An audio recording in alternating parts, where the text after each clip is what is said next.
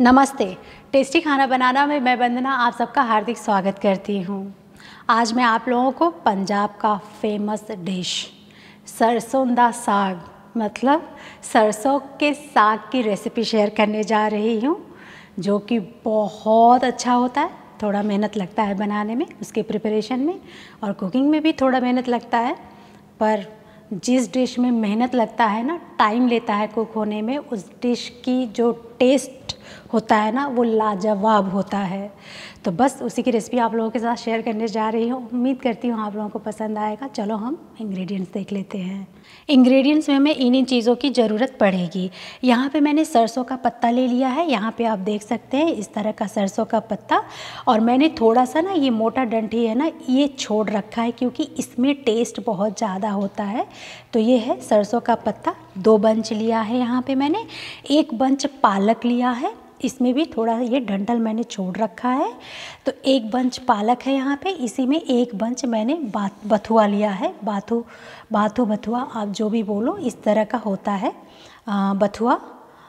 तो एक बंच ये भी लिया है मैंने, और सारी सब्जियों को मैंने अच्छे से साफ़ करके और धो लिया है मैंने इसको।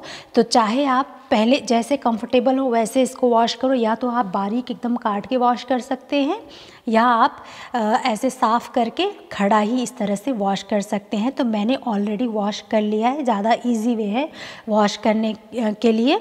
और यहाँ पे मैंने एक मीडियम साइज़ का बारीक कटा हुआ टमाटर लिया है। मीडियम साइज़ का बारीक कटा हुआ प्याज है और यहाँ पे तीन टेबल स्पून मैंने लिया है आ, ये मक्के का आटा।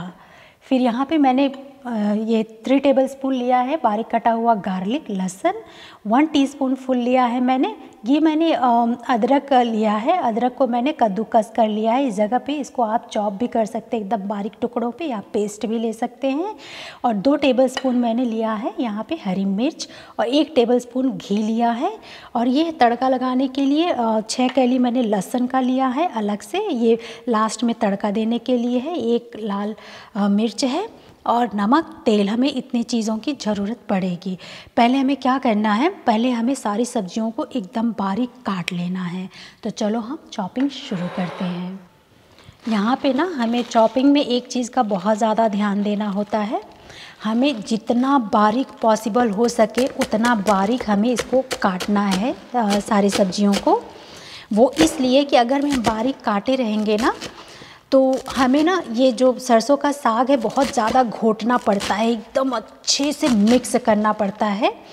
तो अगर में एकदम बारीक कटा रहेगा ना सब्ज़ी तो घोटने में बहुत आसानी हो जाती है। इसलिए हमें एकदम जितना बारीक आपसे पॉसिबल हो, उतना बारीक आप चॉपिंग कर लें। तो हमें इसी तरह से सारी सब्जियों को काट लेंगे और यहाँ पे बड़े से भगोने को रख लिया है मैंने तपेली को। वो साथ में सारी सब्ज़ियाँ एक साथ ही काट के उसमें मैं डाल दूँगी।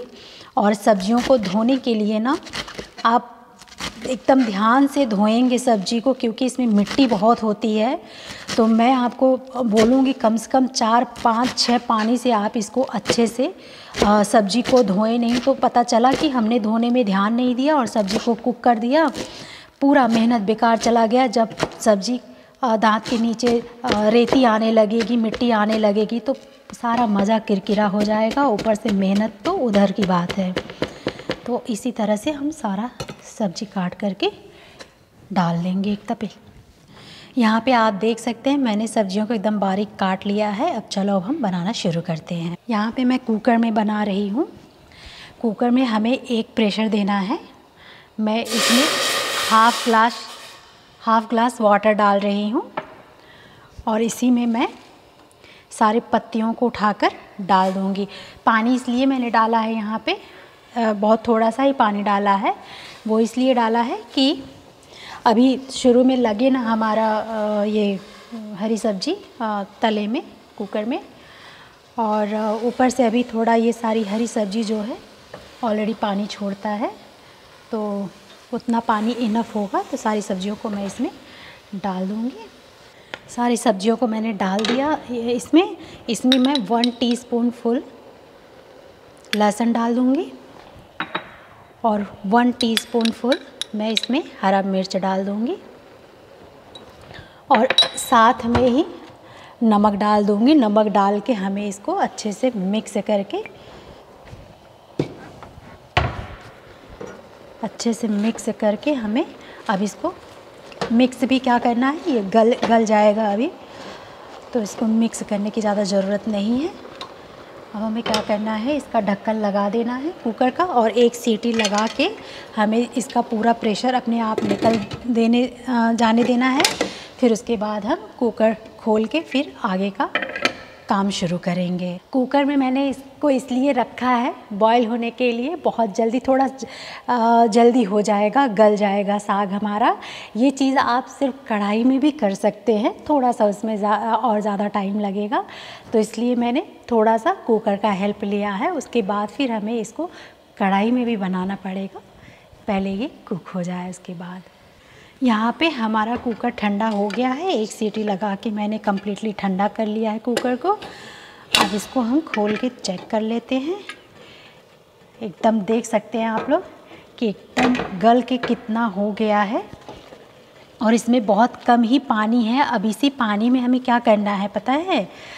आ, हमको इसे मैश करना और इस साइड पे आप देख सकते हैं पानी बॉईल हो रहा है तो हम इसी में पानी यूज़ करेंगे जब हमारा साग अभी काफ़ी टाइम तक कुक होगा ये साग तो हमें बीच बीच में शायद पानी की ज़रूरत पड़ेगी तो ठंडे पानी का इस्तेमाल हमें नहीं करना है, हमें गर्म पानी का ही इस्तेमाल करना है तो अभी हमें क्या करेंगे ये मथनी लेंगे।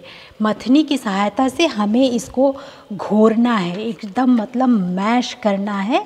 अगर मैं आपके पास इस तरह का मथनी ना होना तो आप जो जिस जिससे दाल निकालते हैं स्पून से उससे भी आप इसको मथ सकते हैं। लेकिन मथनी आ, मेरे पास है तो मैं मथनी का ही इस्तेमाल कर रही हूँ। यहाँ पे मेरा पानी ये बॉईल हो गया है तो इसको बंद कर देती हूँ। और ये साथ में ही मुझे एकदम अच्छे से इसको मैश करना है। मैंने गैस को ऑन कर दिया है। अब इसी से ना हमें एकदम एक बार पहले थोड़ा मैश कर देना है। इस तरह से। अब थोड़ा मथने के बाद अब थोड़ा मैं इसको कवर कर दूँगी और थोड़ा स्टीम के लिए, निकलने के लिए मैं खुला रखूँगी अपने कुकर को। अब खुला ही पकाऊँगी मैं और आज को मैं थोड़ा हाई मीडियम पे रखा है। अब दस मिनट के बाद इसको फिर से हम एक बार मिक्स करेंगे।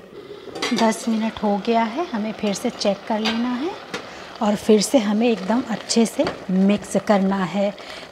इसको मैंने एक मिनट तक अच्छे से घोटा है। अब इसको फिर से हम हाफ़ कवर करके, आज को मैंने हाई पे ही रख हाई पे कर दिया है अब हाफ़ बंद करके, इसको 10 मिनट के बाद फिर हम चेक करेंगे। 10 मिनट हो गया है, हमें फिर से चेक कर लेना है। इसके बीच बीच में ना आप पानी देखते रहेंगे कि साग में, पानी अगर में कम हो जाए तो आप ये जो गर्म करके पानी हमने साइड में रखा है, उसको ऐड करते जाना है। लेकिन बहुत ज़्यादा पानी नहीं ऐड करना है। इतना ऐड करना है जितने में ये आराम से कुक हो जाए। घी एकदम मतलब पतला ना हो हमारा साग। तो इसको हम फिर से घोट लेंगे। अब हम क्या करेंगे? 20 मिनट हो गया इसको कुक करके। अब हमारा जो ये आटा है ना ये मकई का आटा जो है, इसको हम थोड़ा थोड़ा करके इसमें डाल के इसको हम मिक्स करेंगे एकदम, इस तरह से, ताकि इसमें गुठलियाँ ना बने और हमारा साग जो है ना, काफ़ी अच्छे से थिक हो जाएगा थोड़ा सा तो ये थोड़ा सा मेहनत का काम है तो इसी तरह से हम थोड़ा थोड़ा डाल के इसको मथते जाएँगे। मैंने अपना सारा आटा तीन टेबल स्पून जो था, वो मैंने मिक्स करके अच्छे से इसमें मिला दिया है। यहाँ पे आप देख सकते हैं, जब मकई का आटा इसमें हमने डाला ना तो कितना थिकनेस आ गया सब्ज़ी में। इसका काम ये है, एकदम एक सार कर देता है सब्ज़ी, एकदम थोड़ा सा थिक बना देता है। अब इसको भी अच्छे से एकदम घोट लेंगे। अब इसको हम पाँच मिनट के लिए फिर से हम कवर करके छोड़ेंगे हाफ़ कवर करके। और मैंने मीडियम एकदम मीडियम फ्लेम पे कर दिया है, क्योंकि अब पानी बहुत ज़्यादा इसमें अभी है नहीं। तो अभी मैं नहीं डालूँगी भी डालने की ज़रूरत नहीं है। हाफ़ कवर करके अभी पाँच मिनट और मैं पकाऊँगी। लेकिन आप अपनी सब्ज़ी में पानी चेक करते रहना, नहीं तो नीचे लग जाएगी अगर में पानी कम रहेगा तो उसका अंदाज़ आपको लगाते रहना होगा। यहाँ पे मैं देख रही हूँ, मेरे सब्ज़ी में थोड़ा पानी कम लग रहा है, नीचे लग रहा है तो मैं थोड़ा सा अराउंड एक टेबल स्पून जितना मैंने इसमें पानी डाल दिया है, इसको मिक्स करके हमें नीचे लगने नहीं देना है। यहाँ पे पाँच मिनट हो गया है और टोटल पच्चीस मिनट लगा है इसमें और मैं इसको एकदम अच्छे से वापस मैं घोट रही हूँ और ये हमारा सब्ज़ी रेडी हो गया है। सब कुछ एकदम अच्छे से मिक्स हो गया है।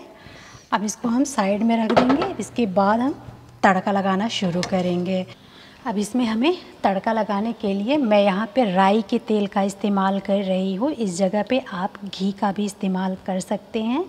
लेकिन साग जो है ना, राई के तेल में बहुत ज़्यादा टेस्टी लगता है। तेल में से थोड़ा थोड़ा धुआँ निकलने लगा है। तेल एकदम पक गया है। इसको पकाना बहुत ज़रूरी होता है। इसके बाद हम क्या करेंगे? इसमें हम हमारा ये लहसुन डाल देंगे और तेल मैंने ढाई ढाई टेबल स्पून लिया है। Two and half tablespoon. लहसुन हमें इतना ही ब्राउन करना है, बहुत ज़्यादा ब्राउन नहीं करना है। इसके बाद हमें मिर्चा डाल देना है। तीखा आपके ऊपर डिपेंड करता है और हमारा ये अदरक भी डाल देना है इसी वक्त। यहाँ पे आप देख सकते हैं, तड़का एकदम अच्छे से हो गया है हमारा। अब इसी वक्त हम क्या करेंगे, हमारा प्याज डाल देंगे। और प्याज को हम ब्राउन नहीं करेंगे एकदम थोड़ा एकदम सॉफ्ट करेंगे प्याज को। और हरे सब्ज़ी में कोशिश ये करें कि मसाला ना ऐड करें। हरा सब्ज़ी सब हरे हरे चीज़ों से ज़्यादा टेस्टी लगता है। आपने देखा इसमें लहसुन मैंने कम से कम दो, दो टे, तीन टेबल स्पून टोटल मैंने यूज़ किया है। लहसुन का टेस्ट इसमें बहुत अच्छा आता है हरी सब्ज़ी में। हमें बस प्याज इतना ही भुनना है ब्राउन बिल्कुल भी नहीं करना है, एकदम सॉफ्ट हो गया है। अब इसके बाद हम हमारा टमाटर डाल देंगे इसमें। टमाटर को सॉफ्ट होने के लिए मैं थोड़ा सा ही नमक इसमें डाल रही हूँ, क्योंकि मैं जब अपना स्पिनिच बॉईल कर रही थी ना ये मस्टर्ड लीफ तभी मैंने नमक उसमें डाला था उबालने के टाइम पे। तो नमक एकदम परफेक्ट होगा। हमें संभाल के ही हरी सब्ज़ी में नमक डालना होता है क्योंकि तेज़ होने की संभावना बहुत ज़्यादा रहता है। आप थोड़ा करके डाल के टेस्ट करके आप वापस डाल सकते हैं, लेकिन ज़्यादा डाल देंगे तो फिर वो बेकार हो जाएगा। तो कोशिश ये करें कि थोड़ा ही नमक डालें टेस्ट करके उसको एडजस्ट कर सकते हैं। यहाँ पे हमें टमाटर को एकदम सॉफ्ट करना है और नमक डालने से टमाटर एकदम सॉफ्ट हो गया है हमारा। अब हम क्या करेंगे? ये जो सब्ज़ी है, हमारा साग जो है, अब इसको हम इसमें डाल देंगे। सरसों का साग। अब इसको हमें अच्छे से मिक्स कर लेना है।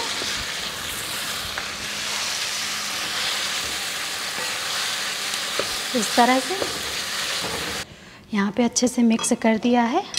फ्लेम को थोड़ा हाई हाई, मीडियम पे ही रखा है मैंने। अब इस यहाँ पे भी कढ़ाई में भी हम मथनी से ही इसको मथेंगे। कम से कम 10 मिनट तक हमें और पकाना है बीच बीच में मथते रहना है।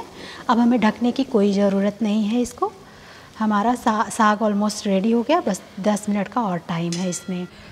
यहाँ पे आप देख सकते हैं हमारा सरसों का साग बनकर रेडी हो गया है। कितने अच्छे से घुटा है ये साग। अब हम गैस को ऑफ़ कर देंगे। अब चलो हम निकाल लेते हैं इसको। सब्ज़ी यहाँ पे मैंने निकाल लिया है। सब्ज़ी अगर मैं आपको ये तड़का नहीं देना है तो आपकी सब्ज़ी रेडी है खाने के लिए, लेकिन हम थोड़ा सा घी का तड़का दे रहे हैं। फाइनल तड़का वन टीस्पून घी हम लेंगे यहाँ पे। और यहाँ पे छह कली हमारे पास लहसुन है, वो डाल दिया है। बहुत इसमें लहसुन काफ़ी मात्रा में हम यूज़ करते हैं, क्योंकि लहसुन का टेस्ट बहुत अच्छा लगता है। अब इसको हम थोड़ा सा हल्का सा ब्राउन कर लेंगे। बस हमें इतना ही ब्राउन करना है। गैस को ऑफ़ कर दे रहे हैं। अब ऊपर से बस खाली इस तरह से हमें डाल देना है। हमारा सरसों का साग बनकर रेडी हो गया है। यहाँ पे आप देख सकते हैं कितना यम्मी हमारा सरसों का साग बनकर रेडी रेडी हुआ है। आप देख सकते हैं। बहुत ही डिलीशियस बना है ये साग। सरसों का साग हमारा बहुत ही यम्मी बनकर रेडी हुआ है। अब इसके साथ आप मक्के की रोटी बनाकर इंजॉय कर सकते हैं। नॉर्मल रोटी से भी अच्छा लगता है, लेकिन सबसे अच्छा ये मक्के की रोटी के साथ अच्छा लगता है। इस तरह से आप लोग भी बनाए, खाएँ और अपना एक्सपीरियंस मेरे साथ ज़रूर शेयर करना। मेरा वीडियो अच्छा लगा हो तो मेरे वीडियो को लाइक शेयर और सब्सक्राइब ज़रूर कर देना। अब मैं आप लोगों को नेक्स्ट रेसिपी के साथ मिलती हूँ। Thank you bye